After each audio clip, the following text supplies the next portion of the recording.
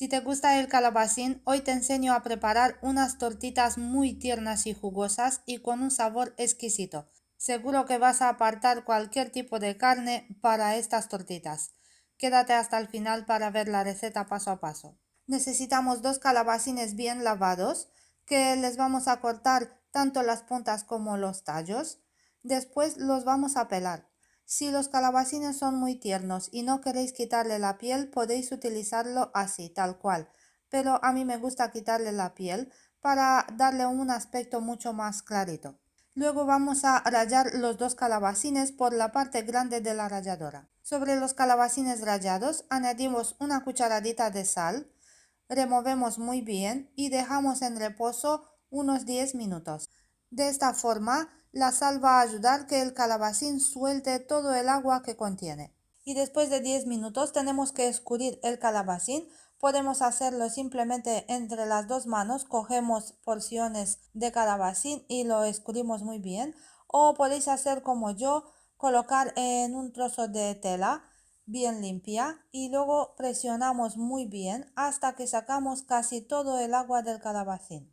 Si no escurrimos bien el calabacín, vamos a tener que añadir más cantidad de harina para espesar la mezcla. Necesitamos también dos huevos, añadimos sobre ellos una pizca de sal y los batimos hasta que estén bien homogeneizados. Luego los añadimos sobre el calabacín escurrido. No es necesario de añadir mucha sal, debido que el calabacín ya contenía. Para mejor sabor ponemos también un poquito de pimienta molida Añadimos también dos dientes de ajo machacados. Podéis hacerlo con una máquina de esta o podéis rallar el ajo. Y como la combinación entre calabacín y queso es estupenda, añadimos también unos 50 gramos de queso rallado. Removemos muy bien con una cuchara hasta que vamos a tener una mezcla homogénea. Ahora es el momento de añadir 3 cucharadas de pan rallado. Lo incorporamos muy bien y luego añadimos de poco a poco dos o tres cucharadas de harina. Ponemos una cuchara, la incorporamos, observamos cómo está la mezcla y si no está bastante espesa añadimos otra cucharada de harina. Yo en total he utilizado dos cucharadas. Y al final podemos añadir también un poquito de perejil fresco bien picado.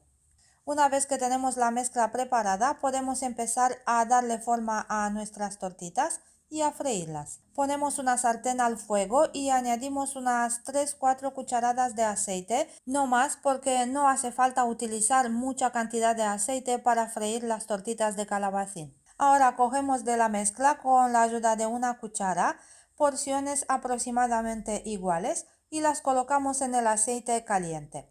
Le damos un poquito de forma redonda con la ayuda de las dos cucharas y las vamos a freír durante 2 o 3 minutos por cada lado o hasta que se ven doradas. Una vez que se hayan dorado por una parte, le damos la vuelta por la otra parte también y las dejamos que se doren igual. Es importante mantener el fuego a moderado para que las tortitas no se quemen por la superficie y que se queden crudas por dentro. Luego sacamos las tortitas en un plato donde hemos colocado antes papel de cocina o papel absorbente de esta manera vamos a quitar un poquito más del exceso de aceite. Y ahora vamos a ver cómo están por dentro estas tortitas de calabacín. Están muy tiernas, muy jugosas, el queso se ha fundido muy bien y tienen un sabor espectacular.